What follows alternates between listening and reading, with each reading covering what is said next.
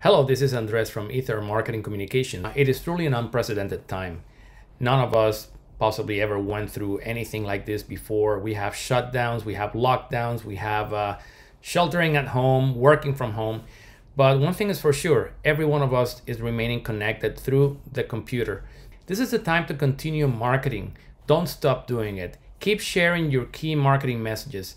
Keep shining light outwards into other people who are coming across your social media posts, who are actually reading content, who are consuming content, whether it is video or text based. So, again, make sure that you don't stop doing that.